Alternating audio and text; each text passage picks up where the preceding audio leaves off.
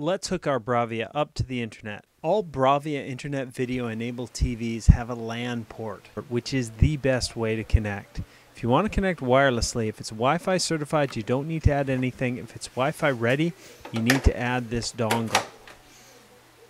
Once that's in place, we can go to our network setup and look at our network setup options. As I said before, wired LAN is the most reliable, the fastest, and the easiest.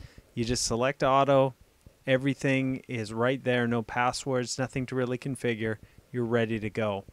Looking at wireless, there's three ways of doing it. We're going to start with manual. You would use this if you're familiar with wireless connections. You've already set up a network, you know the name and the password. You can just scan, you'll see all the wireless access points that your TV's in range of. I'm going to pick this one, medium. I'm going to enter the WPA key, which I know. So I do that using the keypad on the remote. And once I've entered that, I click on enter. I'm going to select auto very similar, save and connect. And now it will connect to the network. And after this point, every time I turn on the TV and want to do anything that has to do with the internet, it'll automatically connect. So now I'm connected. Let's look at a couple of the other ways we can do the network setup as well. The WPS pin gives you this pin code that you have to enter in your router. If you're wondering where that is, look at your router. It probably has instructions right on the bottom where you take your browser, you enter a, a number, again off the bottom, your password that's listed on the router, generally speaking, and you log in. This gives you access to actual settings in the router. We're going to find on here in our wireless settings, we're going to add a wireless device with WPS.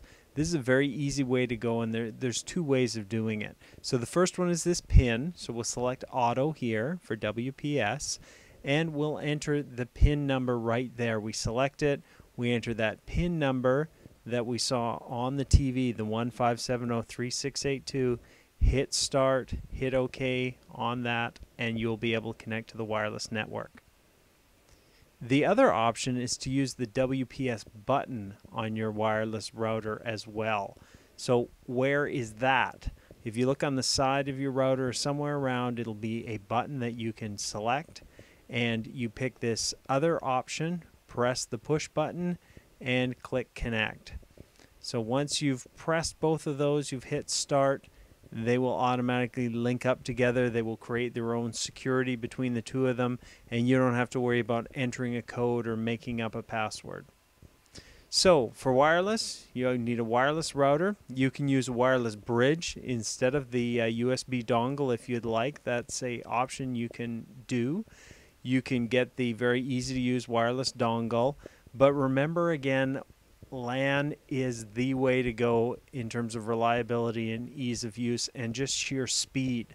One of the things, if you've got a cable modem, very easy to do, is actually split the cable, run one cable to the cable modem and one to your PVR, then hook up your internet right behind your TV. This allows you to get a wired connection to your TV and you get all the other functionality by moving your router instead of moving your TV or running a really long cord. So that's the three wireless ways to connect your Bravia to the internet. Get all the music, geotagging photos, and internet video on your Bravia TV.